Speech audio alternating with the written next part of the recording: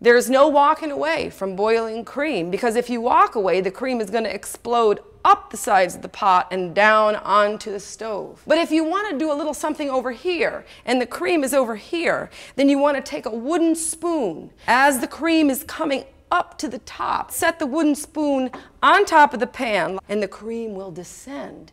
It's amazing.